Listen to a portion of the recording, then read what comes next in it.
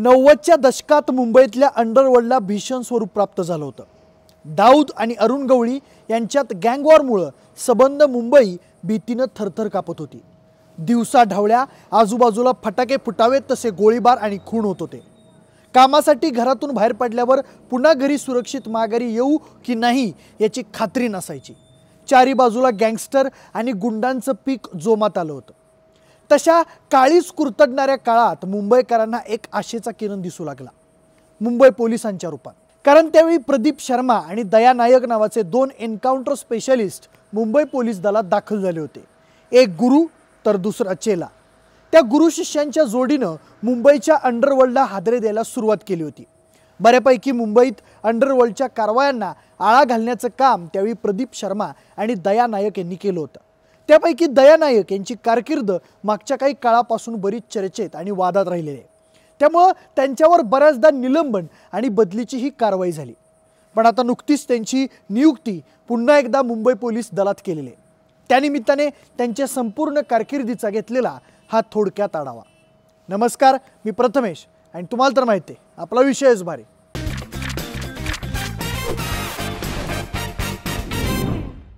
कर्नाटक राज्याच्या उडुपी जिल्ह्यातल्या एका छोट्याशा गावात शेतकरी कुटुंबात दया नायक यांचा जन्म झाला. त्यांना आणखी एक भाऊ आणि बहीण आहे. त्यांच्या कुटुंबाला वडिलांची म्हणावी तेवढी साथ मिळाली नाही. त्यामुळे कुटुंबाची संपूर्ण जबाबदारी त्यांच्या आईनं स्वीकारली. दुसऱ्यांच्या रानात काम करून मोठ्या कष्टानं तिनं मुलांना सांभाळलं. लहान वयाचे दया आपल्या आईचा तो संघर्ष डोळ्याने पाहत होते. आपण सुद्धा आईची मदत केली पाहिजे असं त्यांना मनोमन वाटायचं. दया जेव्हा सातवीत होते तेव्हा त्यांनी कामासाठी मुंबईमध्ये जायचं ठरवलं. त्यानुसार आई आणि घरच्यांचा निरोप घेऊन ते मुंबईत आले. मुंबईत राहायची काही व्यवस्था नव्हती. ना कुणी ओळखीचं माणूस होता. त्यामुळं वेळप्रसंगी फुटपाथवर राहून त्यांनी दिवस काढले. पण मुंबई सगळ्यांना सामावून घेते. आणि कुणालाच उपाशी पोटी झोपू देत नाही असं म्हणतात. दया यांच्यावरही मुंबईने कृपा केली. रेल्वेच्या कॅन्टीनमध्ये दया यांना वेटरची नोकरी लागली. तिथं काम करत असताना पुढं वर्सोवाच्या एका मोठ्या हॉटेलमध्ये नोकरी असल्याचं त्यांना समजलं. आणि पुढं त्यांनी त्या हॉटेलमध्ये वेटरची नोकरी धरली. वेळप्रसंगी अगदी प्लंबरचं कामही केलं. त्यावेळी महिना सातशे रुपये पगार त्यांना मिळायचा. त्यापैकी तीनशे रुपये स्वतःजवळ ठेवून ते उरलेले चारशे रुपये गावी आईकडं पाठवून द्यायचे. पण त्या सगळ्या अडचणीच्या काळात दया नायक यांनी एका गोष्टीशी अजिबात प्रतारणा केली नाही. आणि ती म्हणजे त्यांचा अभ्यास. पहिले दिवसभर हॉटेलमध्ये काम केलं तरी रात्री न चुकता अभ्यास करायचा हे दयानायक यांनी ठरवलं होतं.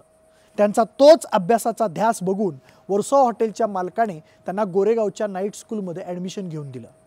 वर्षांमागून वर्षे लोटली दयानायक कॉलेज कॉलेज पासआउट झाले. दरम्यान हॉटेलमध्ये येणाऱ्या पोलिसांच्या गप्पा गोष्टी ऐकून त्यांना पोलिसात भरती होण्याची ओढ लागली. त्यासाठी ते तिथं येणाऱ्या पोलिसांसोबत आणखी वेळ घालवू लागले. त्यांच्याकडून पोलीस खात्याची परीक्षांची अट्टल गुन्हेगारांची माहिती जाणून घेऊ लागले. नायक यांच्या म्हणण्यानुसार त्यांनी पोलिसात भरती होण्याआधीपासूनच त्यांचे खबरी पेरून ठेवले होते. सध्या अंडरवर्ल्डमध्ये कुणाच्या काय काय हालचाली सुरू आहेत ते समजून घेण्यासाठी. आणि फायनली ती वेळ आली. एकोणीसशे पंच्याऐंशी साली उमद्या व्यक्तिमत्वाचा निडर पोलीस अधिकारी मुंबई पोलिसांना जॉईन झाला. दया नायक भरती झाले. सर्वात पहिल्यांदा मुंबईच्या जुहू पोलीस ठाण्याच्या डिसेक्शन विंगमध्ये त्यांची ड्युटी लागली होती. जॉईन झाल्याच्या तीन महिन्यातच त्यांच्यावर छोटा राजन गँगच्या गुंडांनी फायरिंग केली. प्रतिकार म्हणून नायक यांनीही उलटी फायरिंग केली. त्यांच्या त्या डेरिंगबाज कामगिरीनंतर मुंबईचे deputy police commissioner Satyapal Singh यांनी त्यांची पाठ थोपटली आणि त्यांना मुंबईच्या क्राईम इंटेलिजन्स युनिटमध्ये सामील करून घेतलं. तिथं नायक यांची भेट झाली एन्काउंटर स्पेशालिस्ट प्रदीप शर्मा यांच्याशी. त्यांच्या मार्गदर्शनाखाली दया नायक यांच्या आयुष्याने नवा टर्न घेतला. त्या काळात क्राईम युनिटच्या अधिकाऱ्यांनी दाऊद गवळी छोटा राजन आणि पठाण गँगच्या मुसक्या आवळायला सुरुवात केली होती. आणि त्यामध्ये अग्रस्थानी होते प्रदीप शर्मा आणि दया नायक प्रदीप शर्मा यांच्या नावावर त्या काळात एकूण शंभर एन्काउंटरची नोंद झाली होती. तर दया नायक यांनी ऐंशी गँगस्टरचा खात्मा केला होता. त्यामध्ये काही मुख्य नावं घ्यायची झालीच तर विनोद मतकर रफिक दब्बा सादिक कालियाना यांचा समावेश होता. पिसाळक्या कुत्र्यासारखे एकमेकांचे लचके तोडणारे हे गँगस्टर्स त्यावेळी दया नायक यांचं नाव ऐकलं तरी थरथर कापायचे. प्रत्येक एन्काउंटर नंतर जेव्हा नायक मीडियाला बाईट द्यायचे तेव्हा सांगायचे की आम्ही गुन्हेगारांना हत्यार खाली टाका असं सांगायचो. पण ते ऐकायचे नाहीत. आमच्यावर फायरिंग करायचे. मग नाईलाजाने आम्हाला त्यांच्यावर गोळ्या चालवाव्या लागायच्या. दरम्यानच्या काळात नायक यांची काही फिल्म स्टारसोबत जवळीक वाढली होती. पुढं जाऊन तीच जवळीक त्यांच्या वर्दीवर पहिला डाग लावण्यासाठी कारणीभूत ठरली. त्याचं झालं असं की दोन हजार साली नायक यांनी कर्नाटकमध्ये त्यांच्या आईच्या नावानं हायस्कूल सुरू केलं.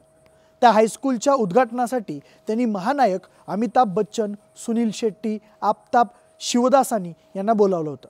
सोबत कर्नाटकमधील काही स्थानिक नेतेसुद्धा होतेच.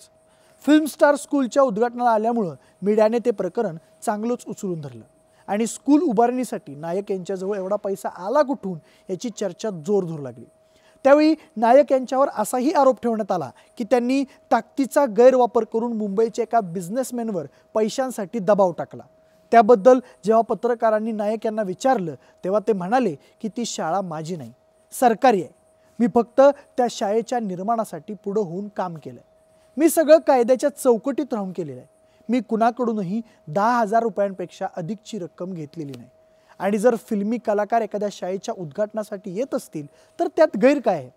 त्या उद्घाटनाच्या कार्यक्रमात अमिताभ बच्चन यांनी नायक यांच्याविषयी खूप चांगली वक्तव्य केली होती. ते म्हणाले होते की आजवर मी नायक यांना फक्त चांगला पोलीस अधिकारी म्हणून ओळखत आलो आहे की जो मुंबई आणि आमची रक्षा करतो. पण त्यांचं हे सामाजिक काम अधिक चांगलं आहे आणि आम्हाला त्याचा अभिमान आहे. फक्त अमिताभच नाही तर नाना पाटेकर आणि अजूनही काही अभिनेत्यांसोबत दया नायक यांचे चांगले संबंध होते. त्या दोस्तीमुळेच जेव्हा राम गोपाल वर्माने प्रदीप शर्मा आणि दया नायक यांच्यावर आधारित अब तक छप्पन असा सिनेमा केला होता तेव्हा खुद्द नायक यांनीच त्या सिनेमाला फायनान्स केलं असल्याची खबर मुंबईमध्ये पसरली होती. पण त्यातही काही तथ्य नसल्याचं त्यावेळी दया नायक यांनी सांगितलं होतं. त्यांच्या म्हणण्यानुसार तो सिनेमा राम गोपाल वर्मा यांचा आहे आणि माझा त्याच्याशी काहीही संबंध नाही आहे जर तुम्ही फिल्म स्टारसोबत असणाऱ्या मैत्रीमुळं असं म्हणत असाल तर मी तुम्हाला सांगू इच्छितो की माझ्या आय पी एस ऑफिसर्सनी आम्हाला फिल्म अभिनेत्यांसोबत दोस्ती करा असं सांगितलं होतं. कारण त्यांच्या मते अंडरवर्ल्ड आणि अभिनेत्यांमध्ये काही गोष्टी घडत असतात. असे सगळे आरोप होतच होते पण त्या काळातही दया नायक यांनी त्यांच्या एन्काउंटरची मालिका थांबवली नाही. पण पुढं दोन हजार तीन साली पत्रकार केतन तिरोडकर यांनी नायक यांच्यावर काही गंभीर आरोप केले. ते असे की नायक हे अंडरवर्ल्ड सोबत मिळून लोकांना धमकावण्याचं आणि वसुलीचं काम करतात. त्या आरोपांमुळे नायक यांच्या चारित्र्यावर मोठं प्रश्नचिन्ह उभं राहिलं आणि त्यांची पोलीस दलातील इमेज ही सुद्धा खराब झाली. कालांतराने तर अशी परिस्थिती निर्माण झाली की नायक यांच्या डिपार्टमेंटमधले लोकच त्यांचा तिरस्कार करू लागले. त्यांचे गुरु प्रदीप शर्मा आणि त्यांच्यातही फूट पाडण्याचे प्रयत्न केले गेले. आणि बऱ्यापैकी त्यांच्या विरोधकांना त्यात यशसुद्धा आलं. त्यासंबंधी एकदा मुलाखतीत बोलताना नायक म्हणाले होते की प्रदीप सर अच्छे आदमी हैं पर उनके अगल बगल के लोग उन तक मेरे बारे में गलत बातें पोहोचाते हैं। पुढं मकोका अंतर्गत त्यांच्यावर गुन्हा दाखल झाला आणि ती केस कोर्टात उभी राहिली. कोर्टात नायक यांनी त्यांची बाजू मांडली. ते म्हणाले आम्ही आजवर जे एन्काउंटर केलेत ते लोकांसाठी आणि चांगल्या समाजासाठी केलेत. त्यामुळे त्यांच्यावर शंका घेऊ नका. मी मृत्यूला घाबरत नाही. बऱ्याचदा माझ्या शरीराला गोळ्यात साठून गेल्यात. आणि कधी कधी गोळ्या लागल्यात सुद्धा. त्यामुळं माझ्या कर्तव्यनिष्ठेवर प्रश्नचिन्ह उपस्थित करणं बरोबर नाही. खरं तर हे सगळं आय पी एस लॉबीचं माझ्याविरुद्ध केलेलं राजकारण आहे. ते लोक डिवाइड अँड रूल्सचा वापर करतात. मी कधीच कुठल्या पार्टीला गेलो नाही. पण मी प्रत्येक वेळी माध्यमांमध्ये माझी बाजू मांडत राहिलो. इतक्या गुन्हेगारांचा एन्काउंटर करूनही मला शिक्षा दिली जाते. दोन हजार सहा साली ए सी बीने दया नायक यांच्या विरोधात तपास सुरू केला होता. जोपर्यंत केस आणि तपास सुरू होता तोवर त्यांचं निलंबन करण्यात आलं होतं. पुढं दोन हजार दहा साली त्यांच्यावरचे आरोप खोटे ठरले आणि कोर्टाने त्यांची निर्दोष मुक्तता केली. दोन हजार बारा साली त्यांना पुन्हा पोलीस सेवेत घेण्यात आलं पण यावेळी त्यांची बदली थेट नागपूरमध्ये करण्यात आली. पोस्टिंग पटली नाही म्हणून त्यांनी सर्व्हिसच जॉईन केली नाही. त्यामुळे त्यांच्यावर पुन्हा एकदा निलंबनाची कारवाई झाली. पुढं दोन हजार सोळा साली पुन्हा एकदा मुंबई पोलिसांनी त्यांना कामावर रुजू होण्यास सांगितलं. पुढच्या दोनच वर्षात म्हणजेच दोन हजार अठरा साली ते इन्स्पेक्टरही झाले. इतक्या वर्षांच्या आरामानंतरही त्यांच्या परफॉर्मन्समध्ये जराही बदल झाला नव्हता. तोच सिंहासारखा दरारा आणि चित्त्यासारखी चपळ आहे. त्यामुळं दोन हजार एकोणीसमध्ये दया नायक यांना अँटी टेररिझम स्क्वॉड म्हणजेच ए टी एसमध्ये सामील करून घेतलं. दोन हजार एकवीस साली ठाण्याचे बिझनेसमॅन मनसुख हिरेन यांचं हत्या प्रकरण घडलं होतं. त्यांच्या तपासात नायक आघाडीवर होते. मनसुख हिरेन यांच्या मृत्यूचा अंबानी यांच्या घराबाहेर जी स्फोटकाने भरलेली कार सापडली होती त्याच्याशी काहीतरी संबंध असल्याचं उघडकीस आलं होतं. पण आता सध्या पुन्हा एकदा ए टी एसमधून त्यांची रवानगी मुंबई पोलीसमध्ये करण्यात आली त्यांच्यासोबत ए टी एस पथकाचे इन्स्पेक्टर ज्ञानेश्वर वाघ आणि दौलत साळवे यांचीसुद्धा मुंबई पोलीसमध्ये बदली झालेली आहे.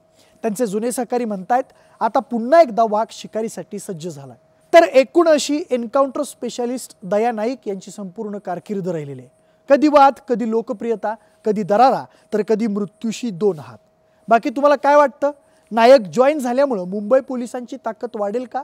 आणि त्यांच्या मुंबई पोलीसमध्ये येण्यामुळं गुंडांमध्ये खौफ पसरेल का? तुमची मतं आम्हाला कमेंट करून नक्की सांगा. जर हा व्हिडिओ आवडला असेल तर लाईक आणि शेअर करा. सोबतच आपल्या विशेष या यूट्यूब चॅनलला देखील सबस्क्राईब करा. जर हा व्हिडिओ तुम्ही फेसबुक किंवा शेअरचॅटवर बघत असाल तर तिथंही आम्हाला फॉलो करायला अजिबात विसरू नका. धन्यवाद.